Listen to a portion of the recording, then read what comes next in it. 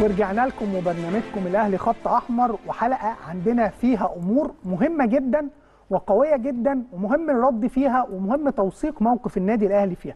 أكيد طبعا كنا سعداء بالفوز على إنبي وكلمناكم في المقدمة ولكن كان عندنا قبلها مباراة بيراميدز. مباراة بيراميدز كانت نقطة مفصلية، مباراة بيراميدز كانت نقطة فاصلة جدا وحاسمة جدا لأن أنت تبدأ تكتسب الثقة. فريق مهم، فريق صعب، بتفوز عليه بثلاثية وبيكون عندك ثقة. جمهورك بيحس إن أنت فعلا قادر. أنت كمان بتاخد ده وتطلع لخطوات إيجابية كتير جدا. ولكن ده ما بيعجبش البعض. البعض اللي عنده دايما تربص بالنادي الأهلي والبعض اللي بيروح لأمور تسيء ليه قبل ما يسيء للنادي الأهلي. لأن النادي الأهلي في الملعب وبالأرقام ودي أمور ممكن نروح لها بعد كده كان قادر يكسب.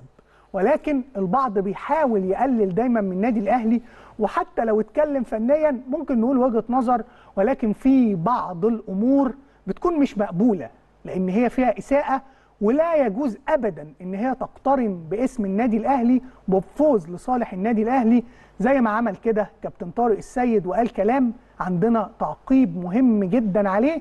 لما نسمعه ونرجع.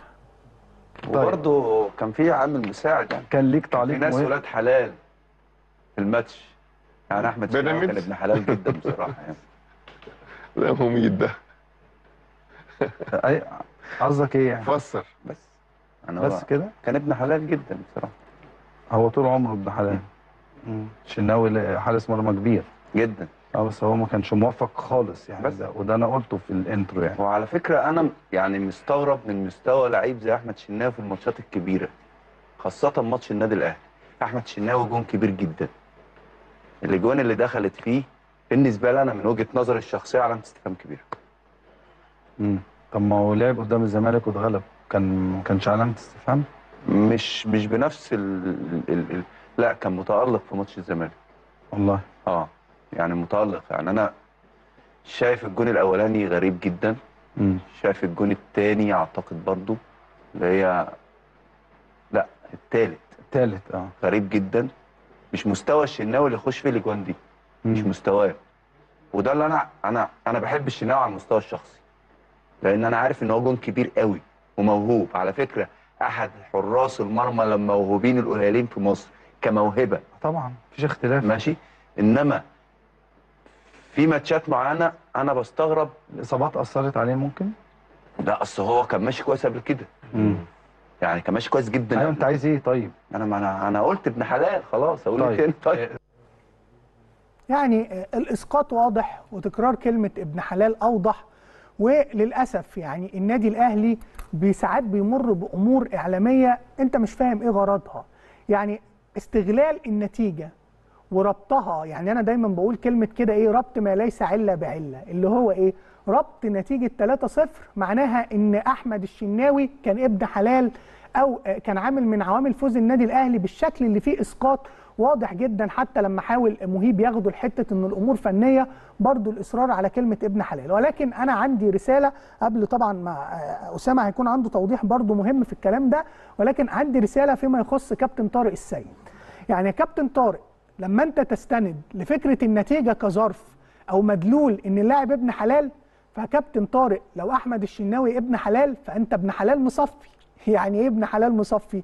يعني بمناسبة مباراة الستة واحد واللي استمتعنا بيها على قناة النادي الأهلي امبارح أنت يا كابتن طارق كنت أحد المشاركين في مباراة الستة واحد وأنا عايزك تجيب شريط المباراة وتقعد تتفرج.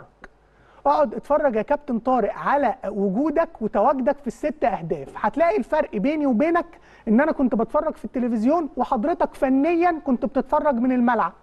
ليه؟ لأن النادي الأهلي كان موفق بيستغل الفرص النادي الأهلي كان أفضل. فلو بمنطق استغلال النتيجة يا كابتن طارق وأحمد الشناوي خدت النتيجة وربطتها إن هو ابن حلال فيبقى الست واحد يا كابتن طارق أنت ابن حلال مصفي ابن حلال جدا.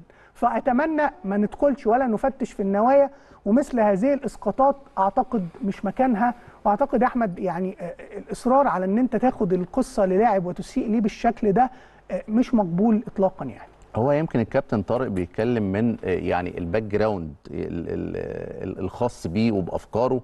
أنا مش عارف هو من ضمن الناس اللي فعلا تم اتهامها في التوقيت ده إن هم يعني آه، كان في تهاون في مباراة الستة واحد عشان يرحل المدير الفني أوتو فيستر. فالمفترض لو أنت استشعرت الظلم فما توقعش ظلم على آه، لاعب آخر.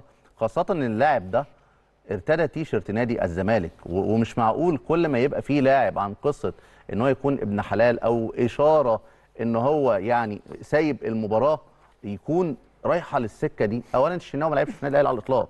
لا الشناوي لعب في النادي الأهلي ولا كابتن أسامة نبيه لعب في النادي الأهلي ولا ناصر فاروق آه، لاعب حارس مرمى غزل المحلة اللي حضن كابتن حسام حسن لعب في النادي الأهلي ولا القصة دي خالص. كابتن حسام حسن وقت ما كان بيلعب في الزمالك.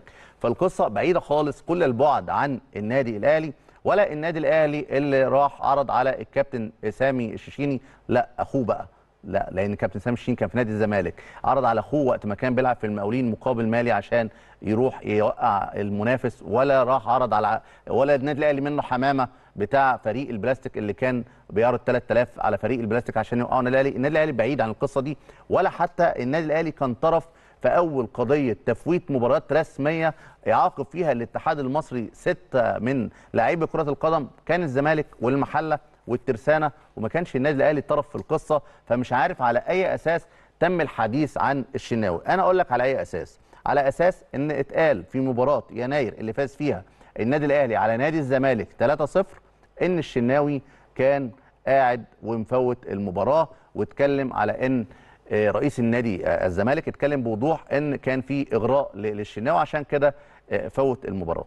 طيب فوت المباراة كمل معاكم ليه؟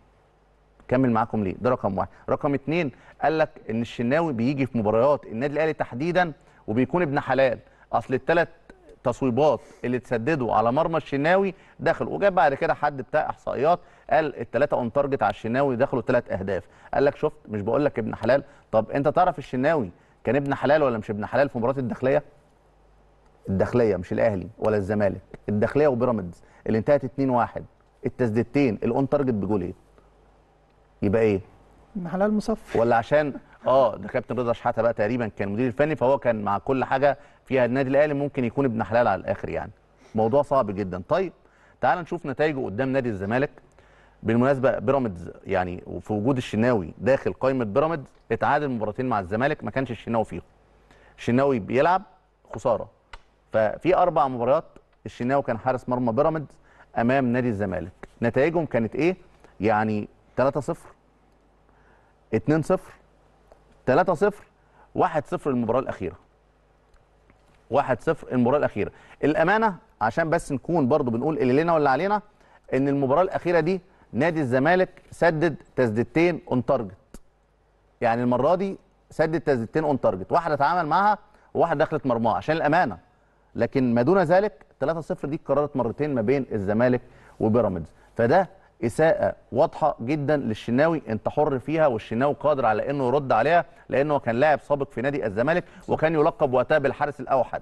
لكن فكرة إن أنت تسخف من فكرة انتصار النادي الأهلي اللي بيجي بحاجه واحدة بس عرق وجهد لاعبيه وشغل أجهزة فنية وتتكلم بالشكل ده على إن كان في حارس مرمى مش متواجد في المرمى أو الثلاث كرات اللي اتلعبوا عليه دخلوا أهداف. ده طبعا موضوع معروف كويس قوي وأنا عارف الصدمة النفسية صعبة جدا إن الناس كانت بتظن إن مواسم سابقة هتتكرر فشافوا إن النادي الأهلي بينتفض في شهر يناير وبيقدر يحقق فوز تلو الآخر وإن شاء الله بإذن الله نلتقي بإذن الله بإذن الله. في نهاية الموسم ده وإحنا أبطال البطولة دي بالعزيمة وبالإصرار مش بالتهاون ولا بالتساهل ولا إحنا النادي الأهلي اللي بنرتكن ونقول إحنا خلاص خدنا البطولة وبنقول لكم قبلها من سبع شهور مش إحنا ده خالص. إحنا بنشتغل وبنقول إحنا أبطال الدوري لما يكون عدد المباريات المتبقية عدد النقاط أقل من الفارق ما بيننا وما بين التاني. إن شاء الله يكون في مباريات كتير تتبقى في نهاية الموسم وإحنا الفارق بيننا وبين المركز الثاني ما يقدرش يعوض لو فاز في كل مباراه وإحنا خسرنا في كل مباراه ونفوز بإذن الله ببطولة الدوري. لكن القصة بتاعت الشناوي أمر سخيف جدا ممكن الشناوي يرد لكن إحنا بنرد بصفتنا كنا طرف أصيل في المباراة دي. أنت متخيل لو إحنا عندنا حارس بيلعبنا أو أو بيلعب نادي الزمالك وعنده أربع مباريات من أربع مباريات يا أسامة زي ما أنت قلت خسارة. ده الراجل ما فيش مرة حتى لعب وحقق نتيجة إيجابية مع بيراميدز. فالوضع طبعا صعب والوضع طبعا مش منطقي وبالنسبة لنا ما خدناش ده. إن إحنا نقول حاجة إحنا ممكن نتكلم إن الحارس فنيا هو أصلا عنده مشكلة ولكن ثلاثيتين في الأربع مباريات وأنت بتيجي تتكلم تقول ابن حلال أعتقد الإسقاط سيء. ولكن الإسقاط ده سببه إيه؟ هو يا جماعة مجموعة من الأفكار اللي بيتم تناقلها. إحنا كلنا هنقول ده. إحنا كلنا هنزق للسكة دي لأن الموضوع مش وليد فكرة مباراة الأهلي وبيراميدز. تخيل الموضوع بدايته مش مباراة الأهلي وبيراميدز خالص. الموضوع من قبل كده الموضوع من الأهلي والزمالك. هتقول لي إزاي؟ هقول لك أيوه من 8 يناير 2018 دي بداية قصة الشناوي. اعتقد محتاجين تعرفوا معانا الربط ده جه إزاي. الربط جه إزاي؟ الربط جه ان في مباراة 8 يناير 2018 الاهلي فاز على الزمالك بثلاثية. كان حارس مرمى الزمالك هو أحمد الشناوي وكان كابتن إيهاب جلال اللي حاول بقى قال أنا أخيرا بدرب الزمالك معايا فريق أقدر ألعب بيه كورة ما فيهاش آه، اتزان دفاعي كبير فكان بيعاقب بثلاثية من النادي الأهلي في الملعب. جه بعدها خرج المنتمين لنادي الزمالك بل مسؤولين في نادي الزمالك ويقولوا إن أحمد الشناوي مفوت المباراة. مفوت المباراة على خلفية مفاوضات مع النادي الأهلي.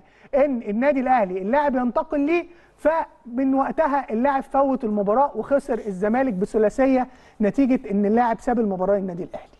طبعا كلام مرسل والرد عليه بسيط جدا. إذا كنت أنت عارف إن اللاعب وأنت شايف إن الأمر ده ما كانش فني. واللاعب مفوت المباراة هيقعد أحمد الشناوي يلعب أساسي بعد مباراة 8 يناير لحد 12 إبريل. هيفضل اللاعب هو الحارس الأساسي في كل المباريات دي بيلعب المباريات هو كأساسي محدش حتى في في الوقت ده كان بيبدل معاه. حارس أنت شايفه ما كانش مستواه فني هو اللي خسرك ثلاثة ده انت شايفه هو تسبب في خسارتك المباراة عن عمد. هتسيبه يلعب لمدة ثلاث شهور بعدها كحارس أساسي؟ إزاي هتأمنه على حراسة مرمى الزمالك؟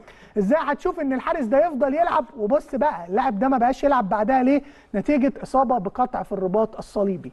بدأ أحمد الشناوي بعدها ما يكونش موجود. ولكن من ماتش النادي الأهلي وثلاثية 8 يناير لحد الفترة اللي كان فيها أحمد الشناوي موجود في إبريل كلها بيشارك بشكل أساسي. ولكن بدأ بعدها أحمد الشناوي مبقاش موجود فنبدأ دايما أي أسباب للخسارة. أنت عندكم ناس طلعت قالت إحنا آه ما خسرناش من النادي الأهلي غير مرة بتاعة مصطفى غربال وبقية النتائج مش موجودة. 2018 يبقى أحمد الشناوي ساب الماتش حتى لو لعب بعده. بيراميدز آه، بنخسر منه آه، في وجود الشناوي بنكسبه ثلاث أربع مباريات منهم مرتين بثلاثية بس في ماتش النادي الأهلي أحمد الشناوي هو اللي ابن حلال. كل الأمور إيه؟ بفكرة حد طلع قال إحنا المفروض الفترة دي نقول الباطل قبل الحق. وكل الناس سمعتها. على الهوا. على الهوا الراجل بيقول المفروض الفترة الجاية كلنا كمنتمين للنادي ده نقول الباطل قبل الحق. فاللي بيتقال ده باطل. اللي بيتقال ده باطل بالأرقام باطل وبالرأي الفني باطل وبالتاريخ باطل. بس هي الفكرة إيه؟ إحنا هنقول الباطل قبل الحق. فالمشكلة في اللي بيسمح إن الباطل يتقال مش اللي بيقول الباطل لأن هو معتاد عليه.